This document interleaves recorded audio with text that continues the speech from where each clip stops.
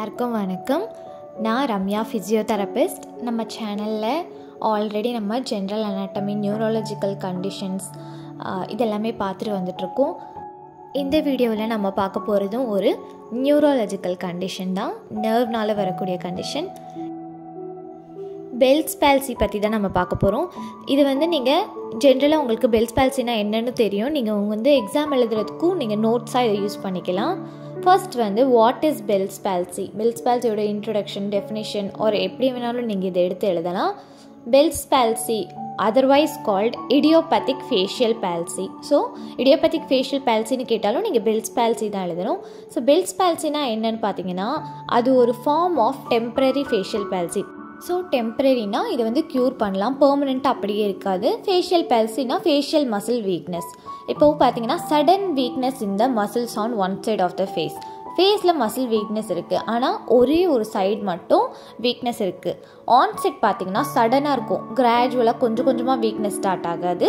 So sudden weakness இந்த muscles on one side of the face Bell's பேல்சியில் Bell's அப்படின்றது என்னென்னா அது வந்து ஒரு ஸ்காட்டிஷ் அனாட்டமிஸ்டோட நேம் சார்லஸ் பெல் அவர் தான் ஃபர்ஸ்ட் ஃபர்ஸ்ட் வந்து இந்த கண்டிஷனை டிஸ்கிரைப் பண்ணியிருக்காங்க பேல்சி அப்படின்னா என்னென்னா இது வந்து various types of paralysis or paresis muscle weakness loss of feeling of sensation இருக்கலாம். அப்புறம் அன்கண்ட்ரோல் பாடி மூமெண்ட்ஸ் இருக்கலாம். இதுதான் பேல்சி ஸோ எந்த நர்வ் அஃபெக்ட் ஆகுதுன்னு பார்த்தீங்கன்னா செவன்த் கிரேனியல் நர்வ்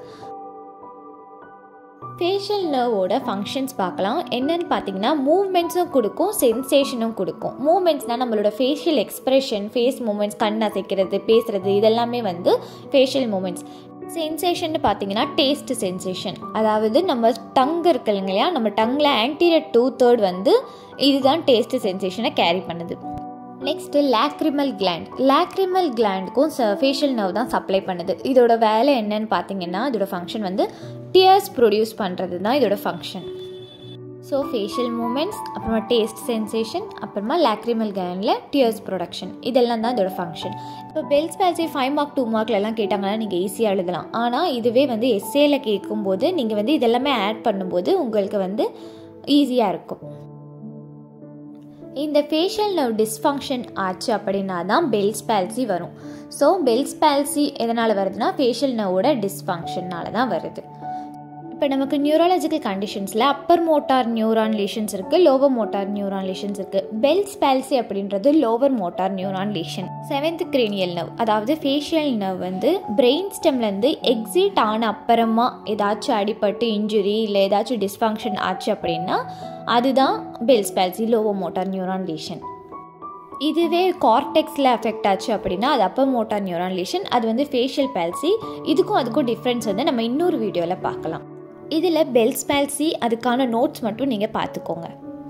இப்போ நெக்ஸ்ட்டு நம்ம பார்க்க போகிறது காசஸ் ஆர் இட்டியாலஜி எதனால் பெல்ஸ் பேல்சி வருது அப்படின்னு பார்த்தீங்கன்னா இடியோபேத்திக் இடியோபேத்திக்னா அன்னோன் இது எதனால் வருதுன்றதே தெரியாது. நெக்ஸ்ட்டு காசஸ் என்னவாக இருக்குன்னு பார்த்தீங்கன்னா இன்ஃபெக்ஷியஸ் இருக்குது நான் இன்ஃபெக்ஷியஸ் இருக்குது இன்ஃபெக்ஷியஸ் காசஸில் என்ன வருதுன்னு பார்த்தீங்கன்னா வைரஸஸ் பேக்டீரியா மெயின் காசஸ் வந்து அன்னோன் தான். ஆனால் நெக்ஸ்ட் காசஸ் பார்த்தீங்கன்னா இந்த மாதிரி ரீஆக்டிவேஷன் ஆஃப் வைரல் இன்ஃபெக்ஷன் என்னென்ன வைரஸ் பாருங்கள் இதுதான் மோஸ்ட் காமன் வைரஸஸ் பெல்ஸ்பால்சியில் ஒன்று herpes virus herpes simplex virus type one இந்த மாதிரி இன்னும் கூட நிறைய வைரஸ் இருக்குது ஆனால் இது வந்து மற்ற வைரஸில் பார்த்தீங்கன்னா இது வந்து பில்ஸ்பேல்ஸில் மோஸ்ட் காமன் வைரல் இன்ஃபெக்ஷன்னு சொல்கிறாங்க நெக்ஸ்ட்டு நம்ம வைரஸ் ரீஆக்டிவேஷன்னா என்னன்னு பார்க்கலாம் இந்த நோட்ஸ் வச்சுட்டே வந்து ஒரு ஃபுல் எஸ்ஸேவே எழுதலாம். உங்களுக்கு வேணும்னா நடுவில் பாஸ் பண்ணிவிட்டு எழுதிக்கோங்க. இப்போ வைரல் ரீஆக்டிவேஷன்னா என்னென்னா வைரஸ் இன்ஃபெக்ஷனில் டூ ஸ்டேஜஸ் இருக்குது ஃபர்ஸ்ட் ஒரு ஸ்டேஜ் என்னன்னு பார்த்தீங்க அப்படின்னா active symptomatic infection active symptomatic இன்ஃபெக்ஷன்னா viral infection இருக்கும்போதே எல்லா சிம்டம்ஸையும் அதாவது வைரஸ் வந்து ஆக்டிவாக இருக்கும்.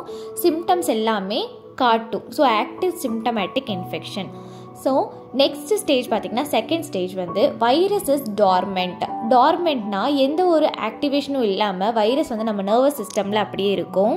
ஸோ எந்த சிம்டமும் காட்டாமல் நம்மளோட உடம்புக்குள்ளே ரீஆக்டிவேட் ஆகாமல் இருக்கக்கூடிய வைரஸ் வந்து சடனாக ஏதாச்சும் ஒரு ஸ்டிமுலஸ்னால ரீஆக்டிவேட் ஆகிடும் ரீஆக்டிவேட் ஆகிட்டு அகெயின் இன்ஃபெக்ட் ஆகும். இந்த வைரஸ் வந்து பெல்ஸ் பேல்சியை காஸ் பண்ணலாம்.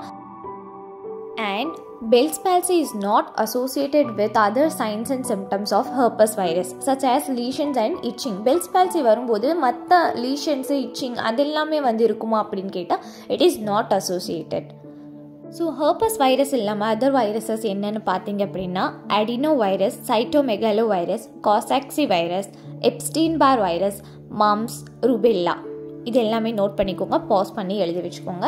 இது எல்லாமே ஹர்தர் அதர் வைரஸஸ் வைரஸ்க்கு அடுத்து பாக்டீரியாவும் வந்து பெல்ஸ் பேல்சியை காஸ் பண்ணலாம்.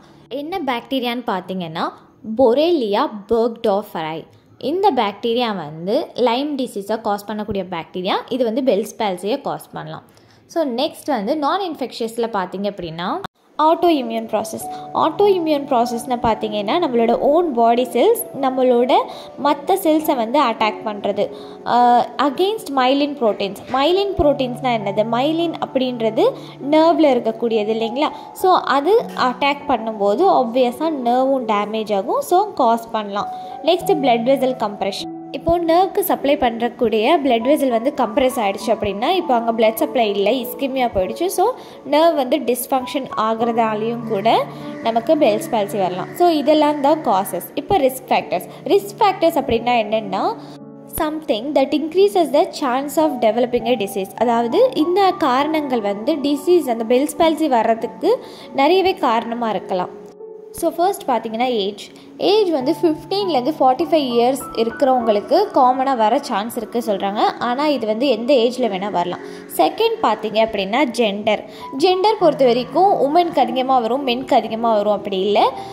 சிமிலர் ரேட் ரெண்டு பேருக்குமே வந்து ஈக்குவலாகவே பில்ஸ் பேல்சி எஃபெக்ட் ஆகும்னு சொல்கிறாங்க ஸோ நெக்ஸ்ட் ரீசன் பார்த்தீங்க அப்படின்னா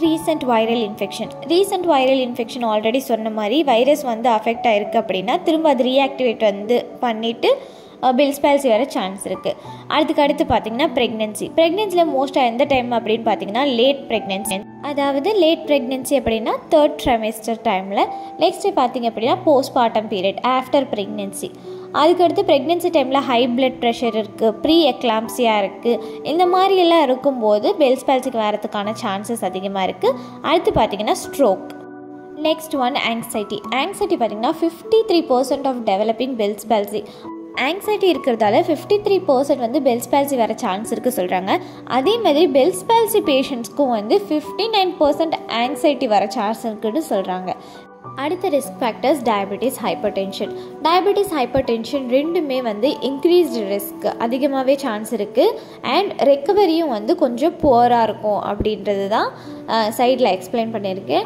Next one obesity so obesity இருந்தாலே டயபெட்டிஸ் ஹைப்பர் டென்ஷன் எல்லாமே வர வாய்ப்பு இருக்குது ஸோ பெல்ஸ் பால்சிக்கும் ரிஸ்க் ஃபேக்டராக ஒபிசிட்டி இருக்குது நெக்ஸ்ட் நம்ம பார்க்க போகிறது வந்து மெட்டபாலிக் சின்ட்ரோம் இதுவும் one of the risk factor metabolic சிண்ட்ரோமில் எப்படியெல்லாம் இருக்கலாம் அப்படின்னா high blood pressure high sugar level high triglyceride அப்புறமா லோ ஹெச்டிஎல் ஹெச்டிஎல்னால் ஹை டென்சிட்டி லிப்பிட் நெக்ஸ்ட்டு வந்து லெவன்த் ஒன் மைக்ரேன் மைக்ரேனும் ரிஸ்க் ஃபேக்டராக இருக்கலாம் and cancer especially oral cancer oral கேன்சர்னாலையும் வரலாம். இப்போ நம்ம பார்க்க போகிறது சைன்ஸ் அண்ட் சிம்டம்ஸ் எதெல்லாம் இருக்கும் பெல்ஸ் பால்சி வந்தா அப்படின்றத பார்க்க போகிறோம் ஃபர்ஸ்ட்டு ஒரு சைட் ஃபேஸ் மசில்ஸ் ஃபுல்லாகவுமே வந்து அஃபெக்டாக இருக்கும். இப்போ ரைட் சைடு எடுத்திங்கன்னா ரைட் சைடு ஃபுல் ஃபேஸ் மசில்ஸுமே அஃபெக்டாக இருக்கும்.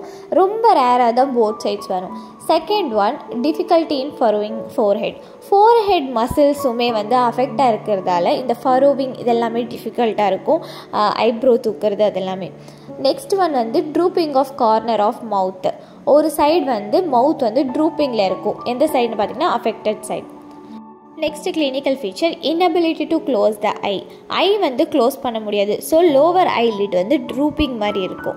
நெக்ஸ்ட் வந்து பெல்ஸ் ஃபினமன் இப்போது பெல்ஸ் பால்சி பேஷண்ட்டை நம்ம வந்து ஐஸ் க்ளோஸ் பண்ண சொன்னோம்னா அவங்களோட ஐஸ் வந்து கம்ப்ளீட்டாக க்ளோஸ் ஆகாது. அவங்களோட ஐபால் அப்வேர்டாக அவுட்வேர்டாக மூவ் ஆகும். ஸோ பேஷண்ட்டோட அஃபெக்டட் சைடு ஐபால் தான் இந்த மாதிரி மூவ் ஆகும். இதுதான் வந்து Bell's phenomenon so forehead eyes over இப்போ நெக்ஸ்ட் பார்த்தீங்கன்னா impairment in frowning and pursing of lips lips மசில்ஸுமே வீக்காக இருக்கிறதால ஃப்ரௌனிங்கும் பர்சிங்கும் டிஃபிகல்ட்டியாக இருக்கும்.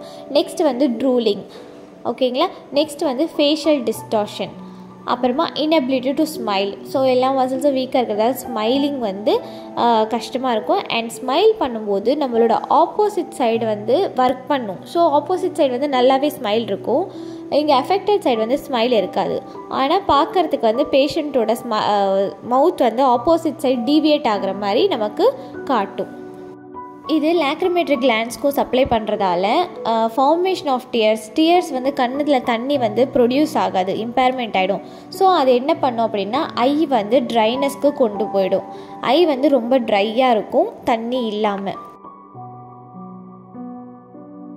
சில இண்டிவிஜுவல்ஸ்க்கு பார்த்தீங்கன்னா டேஸ்ட் சென்சேஷனும் அஃபெக்ட் ஆகிருக்கும் அதாவது ஃபேஷியல் நவ் தான் வந்து டங்கோட ஆன்டீரியர் டூ தேர்டுக்கு சப்ளை பண்ணுது. அங்கே இருக்க டேஸ்ட் சென்சேஷனை அதுக்கு தான் அதுதான் சப்ளை பண்ணுது. ஸோ அது அஃபெக்ட் ஆகும்போது டேஸ்ட் சென்சேஷனும் அஃபெக்ட் ஆகிடும் அண்ட் அதனால் சாப்பிட்றதும் தண்ணி குடிக்கிறதும் டிஃபிகல்ட்டியாக இருக்கும். இதெல்லாம் தான் clinical features of Bell's palsy இதில் நம்ம what is Bell's palsy causes எந்த நர்வ் அஃபெக்ட் ஆகுது அண்ட் ரிஸ்க் ஃபேக்டர்ஸ் பார்த்துருக்கோம் கிளினிக்கல் ஃபீச்சர்ஸ் பார்த்துருக்கோம். இது எக்ஸாமுக்கு ரொம்ப யூஸ்ஃபுல்லாக இருக்கும். இது ஜஸ்ட் நீங்கள் ஹிண்ட் மாதிரி எழுதிட்டு இதை வச்சு நீங்கள் எவ்வளோ வேணாலும் எக்ஸ்பிளைன் பண்ணி எழுதலாம். இன்னும் நிறைய நிறைய இன்ஃபர்மேஷன்ஸ் மற்ற diagnosis treatment exercises difference between facial palsy Bell's palsy இதெல்லாமே அப்கமிங் வீடியோஸில் பார்க்கலாம். உங்களுக்கு ஏதாச்சும் வீடியோ வேணும்னா சொல்லுங்கள் தேங்க்யூ